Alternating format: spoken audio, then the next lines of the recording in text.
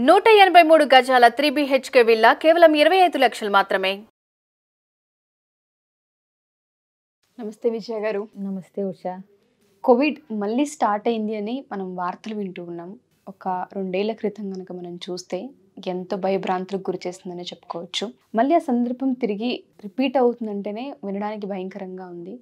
ఎవరో ఒక అమ్మాయికి కూడా దీనివల్ల ఎఫెక్ట్ అయ్యి మాటనే రాకుండా ఉండిపోయింది. ఫిఫ్టీన్ ఇయర్స్ గర్ల్ అని చెప్తూ ఉన్నారు.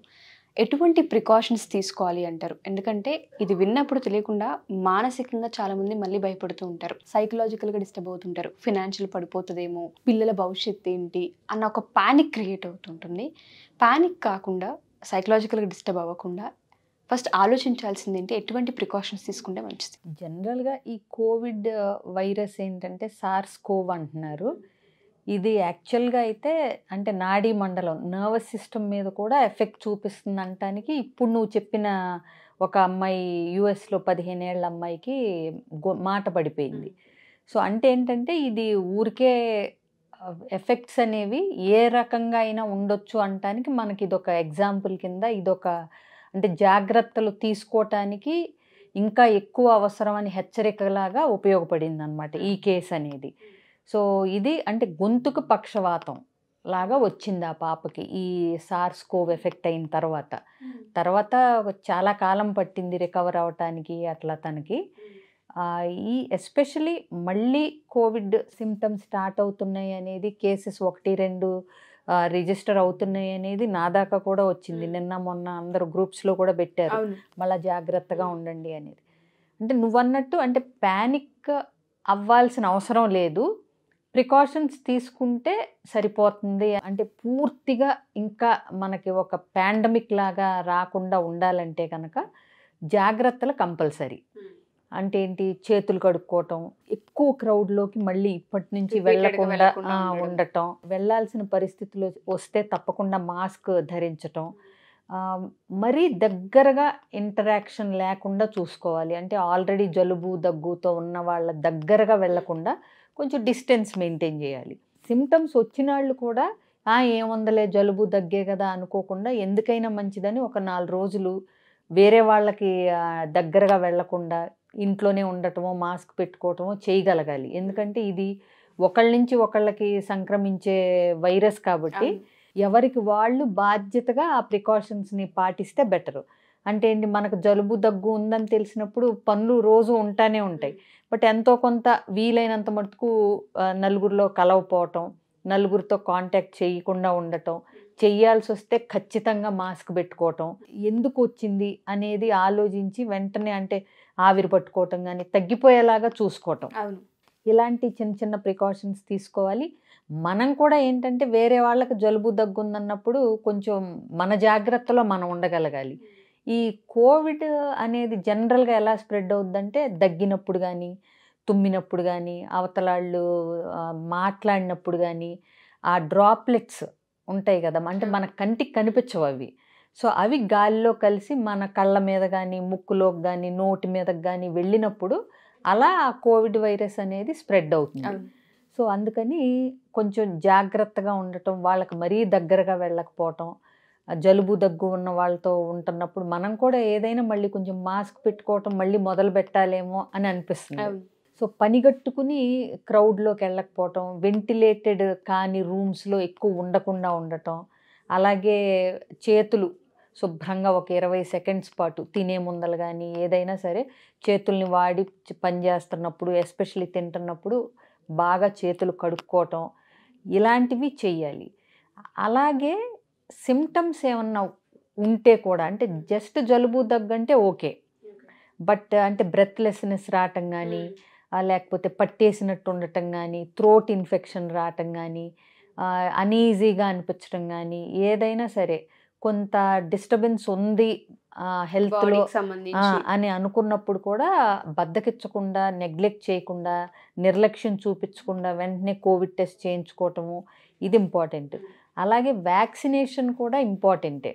ఒకవేళ వ్యాక్సినేషన్ వేయించుకోకపోతే ఇప్పుడు ఏ వేయించుకోవటం ఇలాంటి ప్రికాషన్స్ తీసుకుంటే కనుక ప్రస్తుతం అంత భయానకంగా ఏమీ లేదు పరిస్థితి. బట్ మనం కూడా మన వంతు అంటే ఆ స్టేజ్ మనం ఆల్రెడీ చూసాం. ఆల్రెడీ అది ఎంత భయంకరంగా ఉందో ఎస్పెషలీ వేవ్ టూ చాలా భయంకరంగా చాలా దురదృష్టకరమైన చావులు ఇవన్నీ మనం ఎన్నో చూసాం. అది తలుచుకుంటేనే మళ్ళీ కోవిడ్ అనే పదం వింటేనే భయం వేస్తుంది. బట్ అన్ని చూసిన మనం మళ్ళీ అంత అంటే నిర్లక్ష్యంగా ఉండకుండా అలాంటి పరిస్థితి రాకుండా ఉండాలి అంటే మళ్ళీ మనం అవేర్నెస్తో అలా మొదట్లోనే తుంచేయగలిగితే అంటే వస్తుంది వేవు అనే మాట మొదలైంది ఇప్పుడు. అంటే స్టార్ట్ అయిన కేసెస్ అని. అలాంటప్పుడు ఏంటంటే ఎవరికి వాళ్ళు పర్సనల్గా జాగ్రత్తలు తీసుకుంటూ కేర్ తీసుకుంటూ ఉంటే బెటర్ ఎందుకంటే ఈ ఎంత లేదన్నా కోవిడ్ వచ్చిన బాడీలో ఇమ్యూనిటీ తగ్గిపోయింది. మనకి ఇదివరకటి కంటే త్వర త్వరగా ఇన్ఫెక్షన్స్ రావటం త్వర త్వరగా జలుబులు దగ్గులు రావటం ఎక్కువ. ఫ్లూ సిమ్టమ్స్ ఏది కనిపించినా కానీ నిర్లక్ష్యం చేయకుండా జాగ్రత్తగా ప్రాపర్గా కేర్ తీసుకుని మనకి బాగుండాలి. మనము ఎక్కువ అంటే అన్హెల్దీగా అవ్వకుండా మన వల్ల అవతలాళ్ళకు కూడా కోవిడ్ సిమ్టమ్స్ స్ప్రెడ్ అవ్వకుండా చూసుకోవాల్సిన బాధ్యత కూడా మన మీద ఉంటుంది. ఎగ్జాక్ట్లీ. మీరు అన్నట్టుగానే ఆ పేరు వింటేనే మళ్ళీ తెలియకుండా పానిక్ వస్తూ ఉంది అవును. బట్ దానికి డిస్టర్బ్ అవ్వకుండా ఆల్రెడీ ఆ ఎక్స్పీరియన్స్ని మనం చూసాం. ఎన్నో దురదృష్టమైన చావుని కూడా మనం విన్నాం చూసాం కాబట్టి. కొంత ఆ స్టేజ్ వరకు మళ్ళీ తీసుకెళ్ళకుండా ఉండాలంటే ప్రికాషన్స్ తీసుకునేంత ఉత్తమం ఇంకోటి ఏది లేదు. అందులోనూ ఈ టైంలో వెదర్ కారణంగాను ఇంకేదో చాలా. మంది కొట్టి పారేస్తూ ఉంటుంటారు. చలిగా ఉంది కదా అందుకే జలుబు చేస్తుందిలే అన్న దాంట్లో ఉంటారు.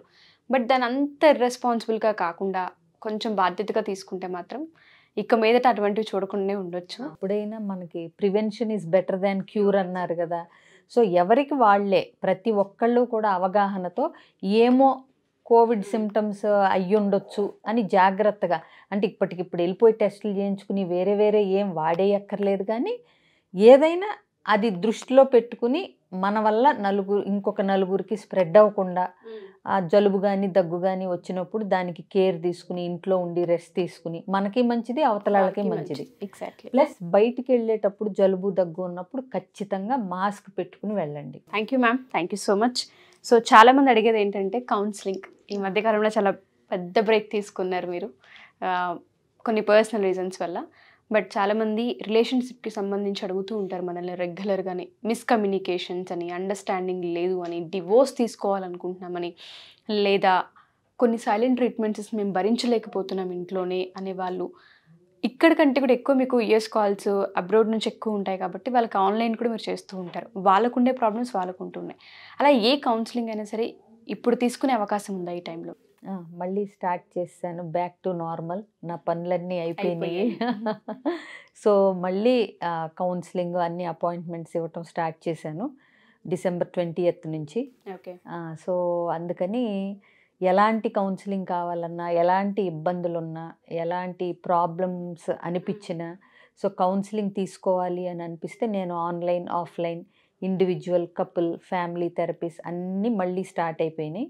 సో కాబట్టి ఎలాంటిది కావాలన్నా స్క్రీన్ మీద కనిపిస్తున్న నెంబర్ కాంటాక్ట్ చేస్తే నా అపాయింట్మెంట్తో పాటు డీటెయిల్స్ అన్నీ ఇస్తారు. Sure ma'am thank you ma'am thank you so much so ఎవరైనా సరే విజయ పెద్దన గారి ఎపిసోడ్స్ కనుక మీరు చూసుంటుంటే అపాయింట్మెంట్ కనుక తీసుకోవాలి అనుకుంటే ఖచ్చితంగా మమ్మల్ని అప్రోచ్ అవ్వచ్చు. ఎస్పెషల్లీ అందరూ అడిగేది ఏంటంటే కపుల్స్కి మాత్రమే అపాయింట్మెంట్ ఉంటుందా? కౌన్సిలింగ్ చేస్తారని అడిగే చాలా మందికి ఆ క్వశ్చన్ మార్క్ ఉంటుంది.